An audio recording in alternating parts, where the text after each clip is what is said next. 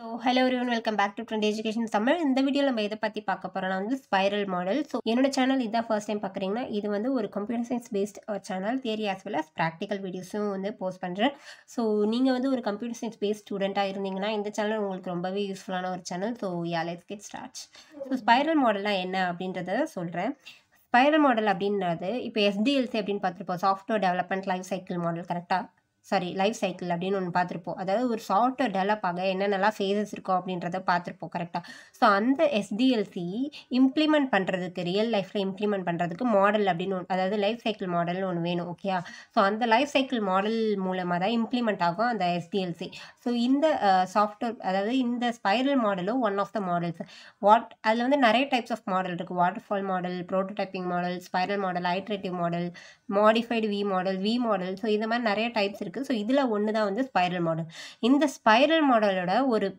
பெரிய benefit advantage அப்படின்னா என்ன அப்படின்னு பார்த்தீங்கன்னா ரிஸ்க் ஹேண்டில் பண்ணும். ரிஸ்க் அனாலிசிஸ் அப்படின்ற ஒரு ஸ்டெப் இருக்கும். ஸோ இந்த ரிஸ்க் அனாலிசிஸ்ன்ற ஒரு ஸ்டெப் வந்து நமக்கு பிளானிங் அதாவது ப்ரோட்டோடைப்பிங் மாடல்லையும் இருக்குது பட் இருந்தாலுமே அதில் வந்து ப்ராஜெக்ட் ஸ்டார்ட் பண்ணுறதுக்கு முன்னாடியே அந்த ஃபேஸ் இருக்கிறதுனால அது வந்து அவ்வளோ எஃபெக்டிவாக இல்லை.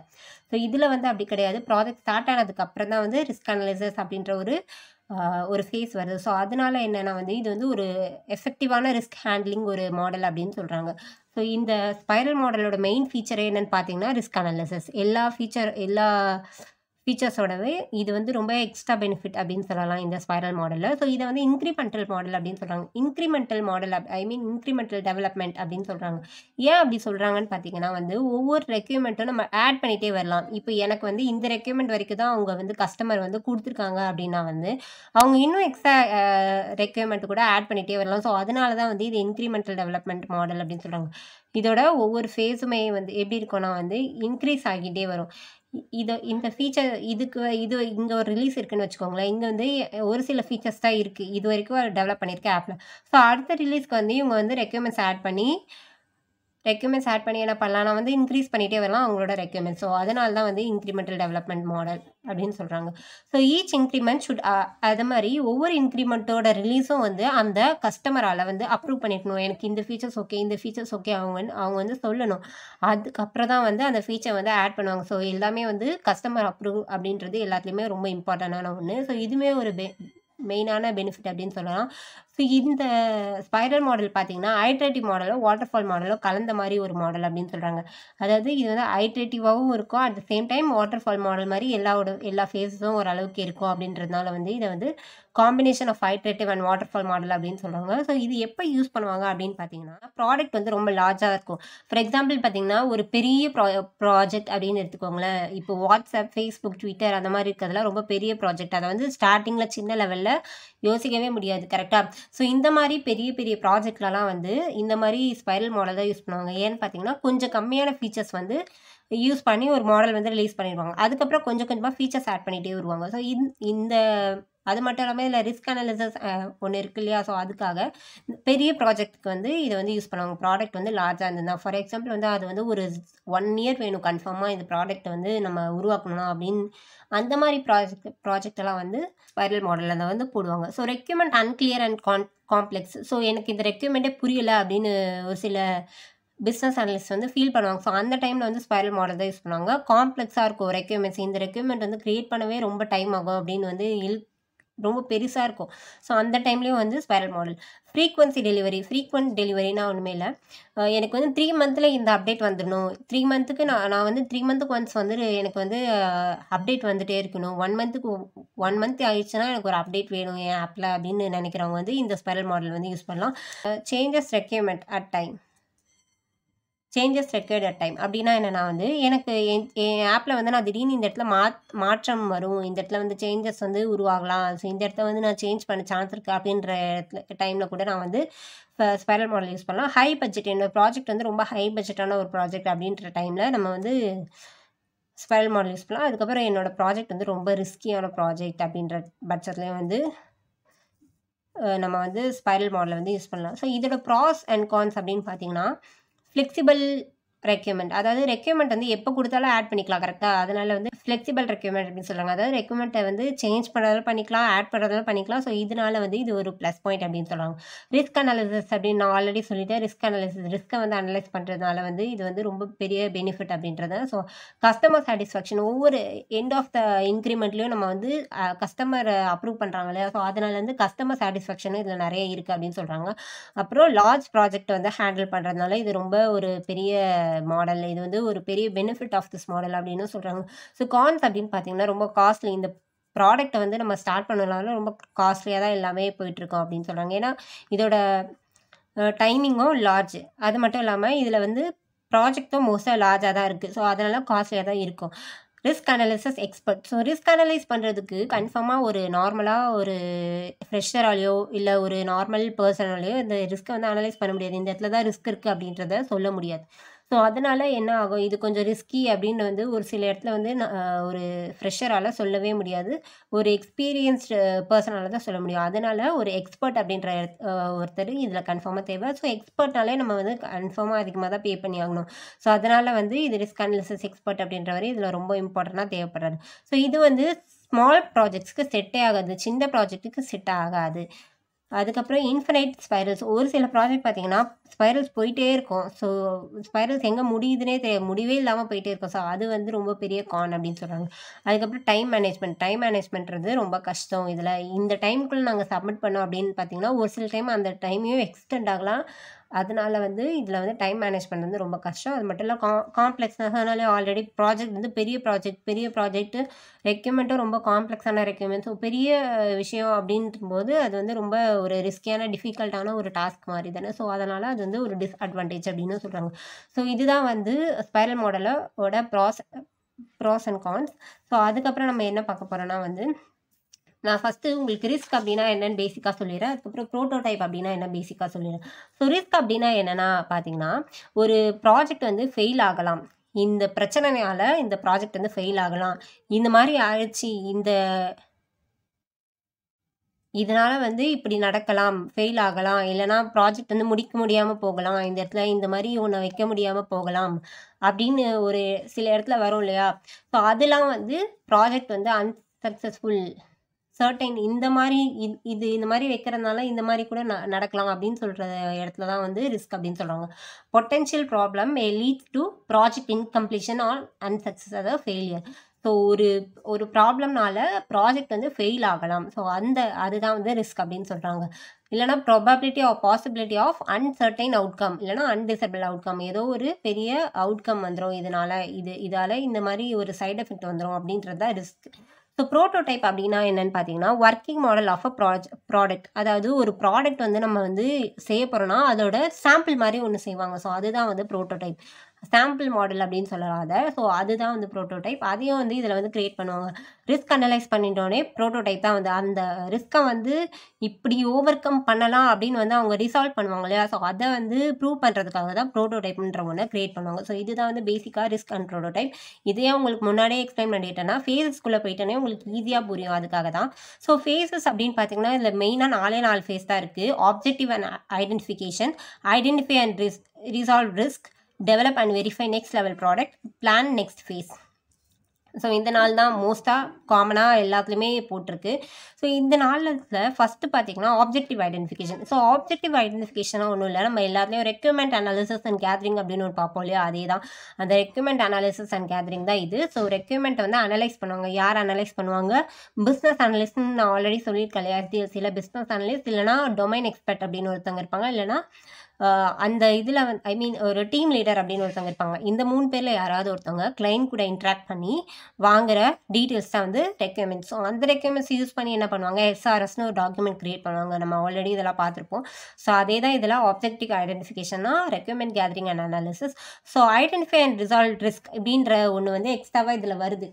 ஓகேவா ஸோ இதை இதோட பேசிக் டயக்ராம் நான் ஒன்று போட்டிருக்கேன். ஸோ இது வந்து ஃபஸ்ட்டு ஃபேஸ் சாரி இது வந்து ஃபஸ்ட்டு செகண்டு தேர்டு ஃபோர்த்து நம்ம இதில் பார்த்தோம் இல்லையா? So recommend gathering and analysis and second one பார்த்தீங்கன்னா identify and resolve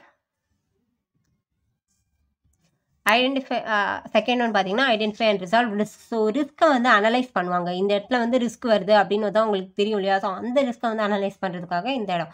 இந்த செகண்ட் ஃபேஸ் ரிஸ்க் அனலைஸ் பண்ணி அந்த ரிஸ்க்கு இந்த ரிஸ்க்கை வந்து இப்படி தான் ஓவர் கம் பண்ணும் அப்படின்னு கொண்டு வந்துருவாங்க.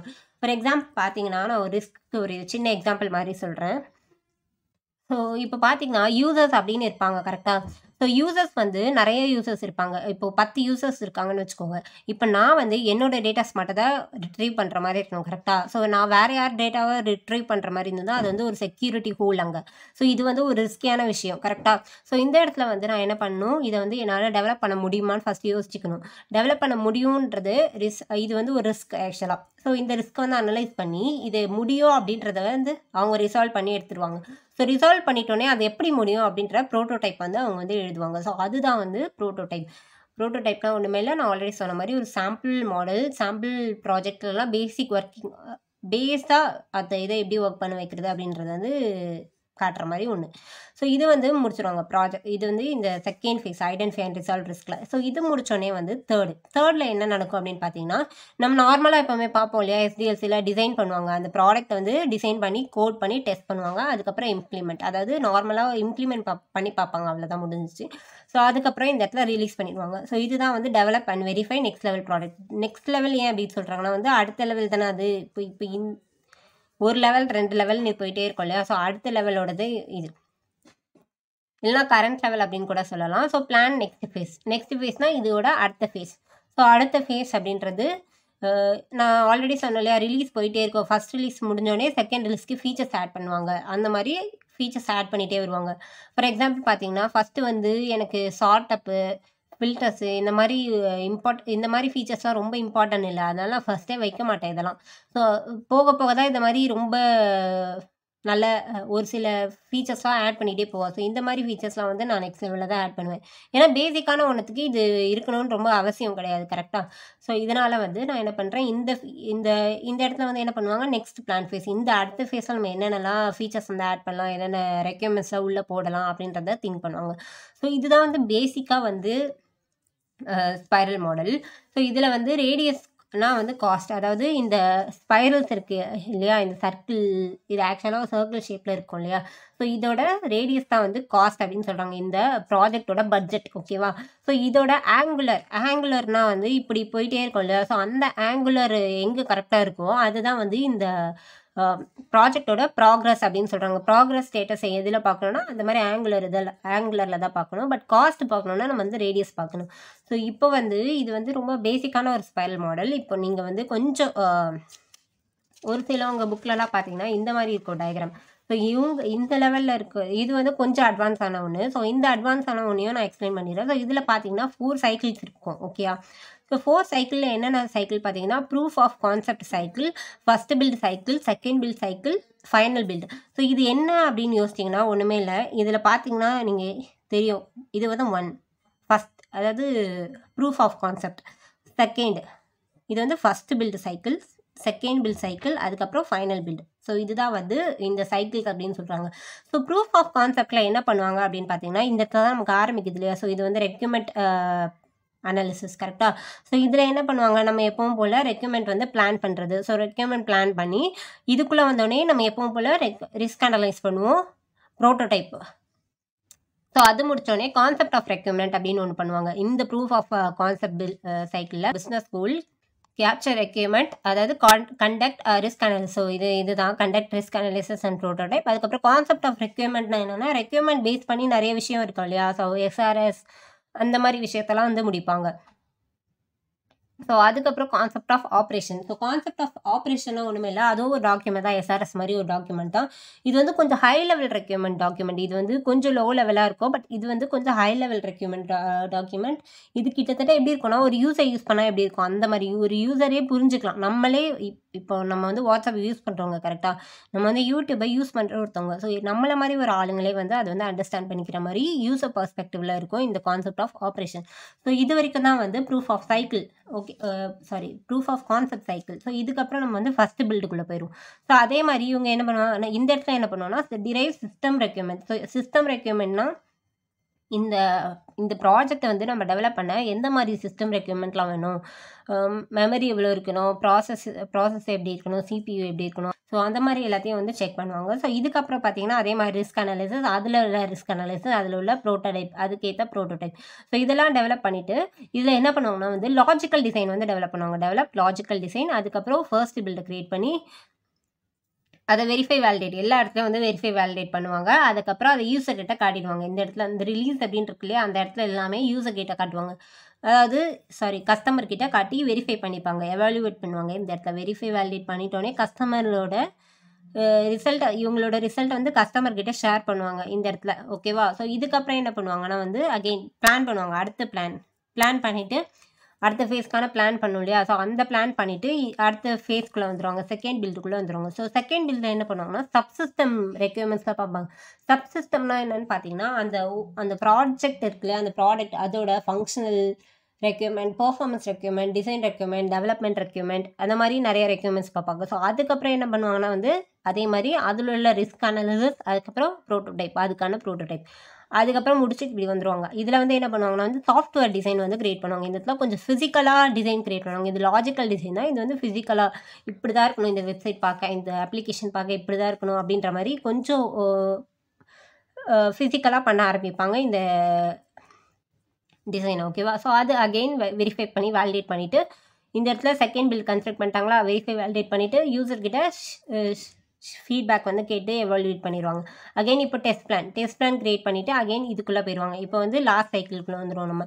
அதாவது ஃபைனல் ஸோ இதில் வந்து யூனிட் ரெக்யர்மெண்ட் யூனிட் ரெக்யர்மெண்ட்னால் வந்து தெரியும். அந்த யூனிட் பர்டிகுலர் யூனிட்டில் இப்போ ஃபார் எக்ஸாம்பிள் பார்த்தீங்கன்னா chat module admin module seller module buyer மாடியூல்னு இருக்கும் இல்லையா? அதோட ஒவ்வொரு மாடியூலையும் எடுத்து அந்த மாடியூலில் வந்து என்னென்னலாம் பண்ண முடியும் அப்படின்றத பார்ப்பாங்க. ஸோ அது அது வந்து இந்த ரெக்யூர்மெண்ட் அனாலிசிஸ் நடக்கும். அதுக்கப்புறம் வந்து ரிஸ்க் அனாலிசிஸ் அதோட ரிஸ்க் அனாலிசிஸ் இருக்கும். இங்கே வந்து operational prototype so operational prototype அப்படின்னா என்னென்னு பார்த்தீங்கன்னா இப்போ நம்ம வந்து ஆக்சுவலான கோடிங்குள்ளே போகிறோம் கோடிங் டெஸ்டிங் இம்ப்ளிமெண்டேஷன் அதுக்குள்ளே போகிறோம் ஸோ அதனால வந்து கொஞ்சம் பேசிக் நான் சொன்னாலையா சாம்பிள் ப்ராடக்ட் அப்படின்றது ரொம்ப ஒரு த ஒரு ரொம்ப ஒரு ஒர்க்கிங் மாடல் அந்த மாதிரி ஒரு ஆப்ரேட் பண்ணுற மாதிரி ஒரு ப்ரோட்டோடைப்பை வந்து கொண்டு வந்துருவாங்க இந்த இடத்துல. ஸோ அதுக்கப்புறம் என்ன பண்ணுவாங்கன்னு பார்த்தீங்கன்னா டிசைன் பண்ணுவாங்க. டீட்டெயில்டு டிசைன் ஸோ எல்லா டிசைனும் இருக்கும். இதில் ஆர்கிடெக்சரல் டிசைன் அப்படின்னு சொல்லுவாங்க இல்லையா? எல்லா எல்லாமே ஒரு ஃப்ளோவாக இருக்கும். டிசைன் வந்து கரெக்டாக பர்ஃபெக்டாக ஒரு ஃபைனல் டிசைன் மாதிரி இது. ஸோ அந்த டிசைன் முடித்தோடனே கோட் பண்ணி டெஸ்ட் பண்ணி இம்ப்ளிமெண்ட் பண்ணிடுவாங்க. ஸோ இது நமக்கு ஆல்ரெடி தெரியும் இல்லையா? கோடிங் பண்ணுவாங்க. அவங்களுக்கு கொடுத்துக்கிற ப்ரோக்ராமிங் லாங்குவேஜ் வச்சு டெஸ்டிங்கும் எஸ்டிஎல்சி யூஸ் பண்ணி பண்ணுவாங்க. அதுக்கப்புறம் இம்ப்ளிமெண்ட் எஸ்டிஎல்சி சாரி டெஸ்டிங்கை வந்து எஸ்டிஎல்சி யூஸ் பண்ணி பண்ணிடுவாங்க. அதுக்கப்புறம் வந்து இம்ப்ளிமெண்ட் பண்ணுவாங்க. அந்த கோடு எல்லாம் எல்லாமே கரெக்டாக இருக்கா? ஒர்க் ஆகுதா? இதில் டெஸ்டிங் பண்ணிவிட்டு அதுக்கப்புறம் ஒரு தடவை யூசர்கிட்ட இம்ப்ளிமெண்ட் பண்ணிக்க ஐ மீன் கஸ்டமர்கிட்ட இம்ப்ளிமெண்ட் பண்ணி காட்டிட்டு ரிலீஸ் பண்ணிடுவாங்க. ஸோ இதுதான் வந்து ஓவராலாக ஒரு சைக்கிளே ஐ மீன் ஒரு சைக்கிள்னால் ஒரு ரிலீஸ்க்கான ஒரு ப்ராக்ரஸ் ஃபுல்லாகவே இதுதான். ஸோ அதுக்கப்புறம் தான் அடுத்த ரிலீஸாக ஸ்டார்ட் ஆகும். நிறைய பேர் நினச்சிப்பாங்க இது வந்து ஒரு ரிலீஸ் இது வந்து செகண்ட் ரிலீஸ் அப்படின்னு. இல்லை இதுதான் ஓவரால் ஃபஸ்ட் ரிலீஸே இங்கே தான் ஃபஸ்ட் ரிலீஸே ஆகுது. ஸோ இது வரைக்குமே வந்து கஸ்டமர் ஃபீட்பேக்ஸ் தான் நடந்துகிட்ருக்கே தவிர இந்த இடத்துல தான் ரிலீஸ் ஆகுது. ஸோ இதுலேயுமே நான் சொன்னேன் இல்லையா காஸ்ட் வந்து ரேடியஸ் அண்ட் ப்ராசஸ் வந்து ஆங்குலர் ஸோ உங்களுக்கு இந்த வீடியோ புரிஞ்சிருக்கோம் நம்புகிறேன் ஸோ இவ்வளோ தான் இருக்குது இந்த மாதிரி நிறைய வீடியோஸ் வேணும்னா என்னோடய சேனல் சப்ஸ்கிரைப் பண்ணுங்கள் நான் வந்து நிறையா வீடியோஸ் போட ட்ரை பண்ணுறேன் வீக்லி இல்லைனா டே வீக்லி டூ ஆச்சும் போட ட்ரை பண்ணுறேன் ஏன்னா என்னோடய வீடியோ நிறைய பேர் சப்போர்ட் பண்ணுறீங்க thanks for supporting me and thanks for heartedly comments thanks for வாட்சிங் பை